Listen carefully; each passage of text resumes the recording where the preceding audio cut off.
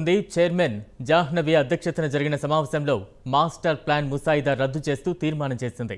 సమావేశానికి హాజరైన BRS Congress BJP కౌన్సిలర్లు ఏకగ్రీవంగా దాన్ని ఆమోదించారు.